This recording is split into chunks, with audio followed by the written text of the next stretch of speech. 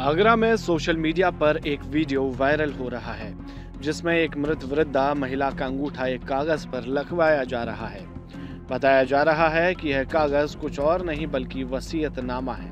दरअसल थाना सदर बाज़ार के सेवला जाट के रहने वाले जितेंद्र शर्मा ने वृद्ध महिला को अपनी नानी बताया है। उन्होंने बताया कि 8 मई 2021 को उनकी नानी कमला देवी की मृत्यु हो गई थी। उनके नाना इससे पहले ही चल बसे थे। उनकी नानी और नाना के कोई संतान नहीं थी। ऐसे में जब उनकी नानी की मृत्यु हो गई तो उनके जेठ के पुत्र बैजनाथ और अंशुल नानी को अस्पताल ले जाने की बात कहकर अपने साथ ले गए। रास्ते में ही मृत अवस्था में उन्होंने कार को रोका और वकील को बुलाकर नानी के अंगूठे का निशान वसीयतनामा पर लगवा लिया और ये अंगूठे का निशान संपत्ति हड़पने की नीयत से लगवाया गया। जितेंद्र शर्मा ने बताया कि संपत्ति को हड़पने की शिकायत 21 मई 2022 को थाना सदर में की गई थी।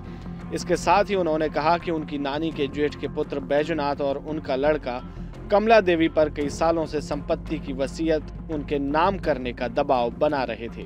कमला देवी ने कई बार इस बात का विरोध भी किया।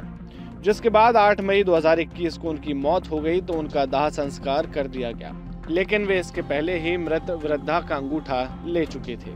अब इस मामले में जितेंद्र ने जिलाधिकारी और वरिष्ठ पुलिस अधिकारी से शिकायत की है।